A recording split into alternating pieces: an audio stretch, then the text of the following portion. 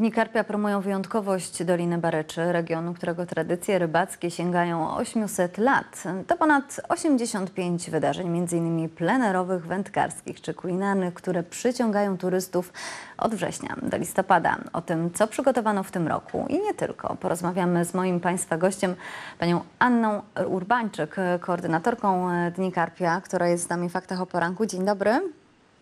Dzień dobry, witam serdecznie. Czy mnie słychać? Słychać dobrze.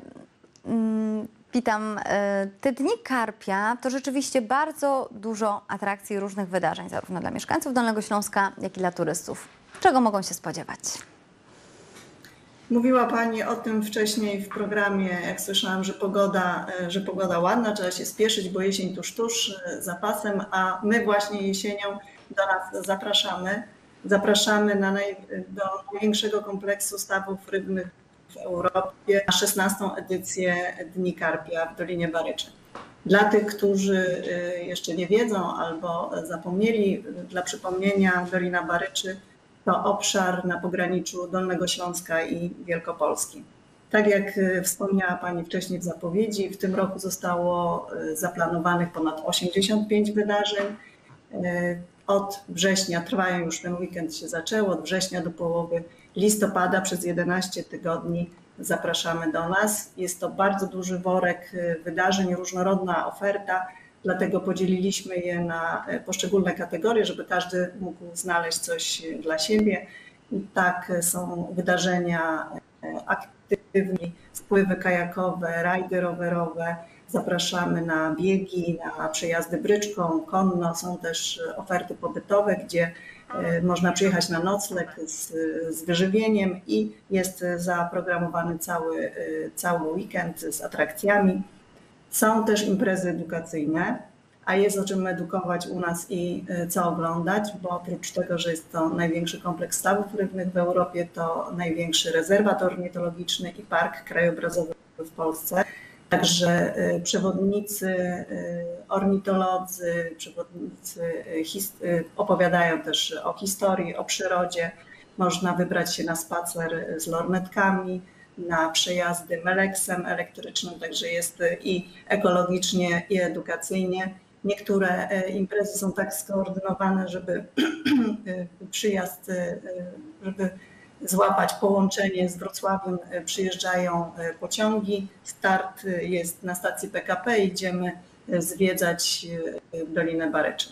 Są też zawody wędkarskie, czyli w ciszy i spokoju, o poranku i mały i duży może złowić taką albo i większą rybę.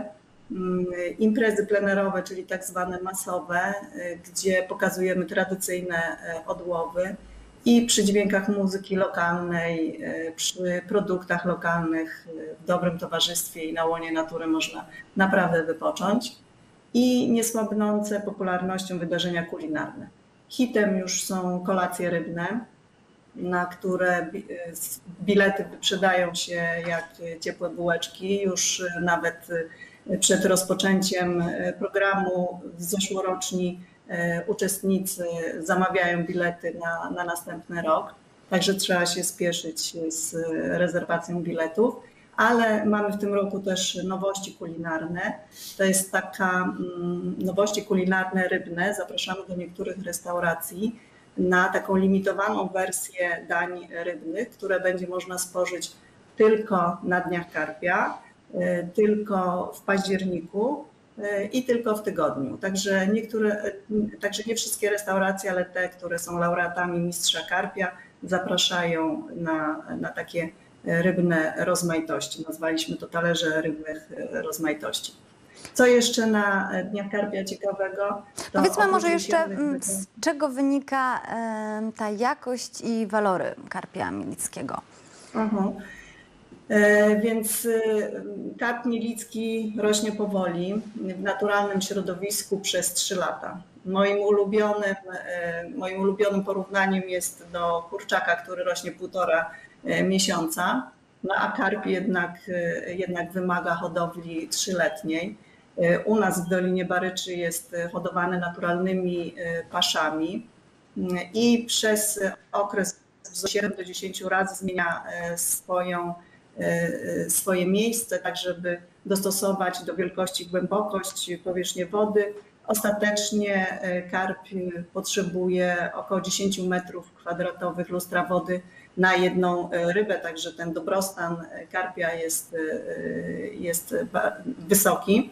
Przez to to mięso jest sprężyste, e, jest smaczne. Niektórzy e, mówią, że e, ten karp e, jest zamulony, że, że, że, że karpie w ogóle nie lubią e, karpia, bo jest trąci mułem, że, że jest dużo ości, ale u nas gospodarstwa rybackie stosują tak zwaną płuczkę, czyli to jest osta- ostatni etap hodowli, gdzie karpia wpuszcza się do czystej wody, on płynie pod prąd, jest wtedy wytrącany tłuszcz, nie ma tego mułu, także e, a na ości nasi e, gastronomowie też mają e, już e, patent, e, specjalne nacięcia powodują, że te ości się wytapiają i naprawdę zapraszamy na, na smaczną, dobrą jakościowo e, rybę, jaką jest karp. Dziękujemy bardzo. Nomen omen królewski, królewski karp. Dziękujemy bardzo za rozmowę. Rzeczywiście e, zapowiada się smacznie. No i miejmy nadzieję, że każdy znajdzie coś e, dla siebie.